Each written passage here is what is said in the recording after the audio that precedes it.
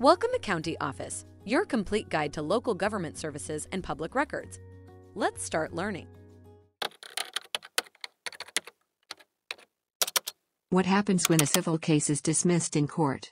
When a civil case is dismissed, it means the case has been closed without a judgment or settlement. The plaintiff can a Euro TMT bring the same case again. There are two types of dismissals, voluntary and involuntary. A voluntary dismissal occurs when a plaintiff withdraws the case. An involuntary dismissal occurs when a judge dismisses the case for reasons such as lack of jurisdiction, failure to prosecute, or failure to comply with court rules.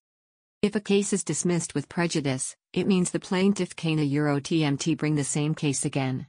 If a case is dismissed without prejudice, the plaintiff can refile the case. ETA Euro TMS important to note that a dismissal doesn't a Euro TMT necessarily mean the end of the case.